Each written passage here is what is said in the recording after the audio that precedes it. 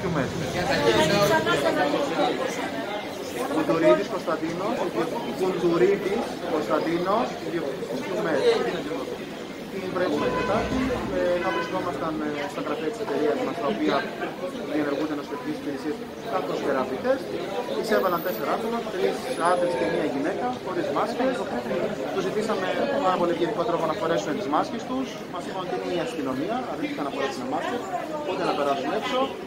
Όταν του ζητήσαμε τι ταυτότητε της αστυνομικές ώστε να συμμορφωθούμε στον έλεγχο μιας τέτοιας υπηρεσίας, μα έφεραν κάποια πλαστικοποιημένα καρτελάκια να θέσουμε, τα οποία γράφανε συνταγματική αστυνομία. Ε, δόξα τω Θεώ, βγήκαν οι άνθρωποι έτσι με γενικό τρόπο, καλέσαμε την ελληνική αστυνομία και από εκεί και πέρα πήρε την νόμιμη τροπή των γεγονότων. Μια γυναίκα ισχυρίζεται ότι του χτυπήσατε, την χτυπήσατε.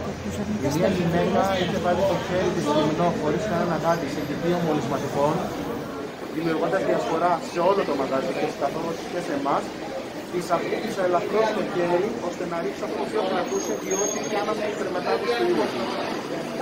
Αν ήταν εξωδερμό, θα υπήρχε κάποια μήνυση στο πρόσωπό μου, θα ήμουν κατηγορούμενος του υπόπαστη.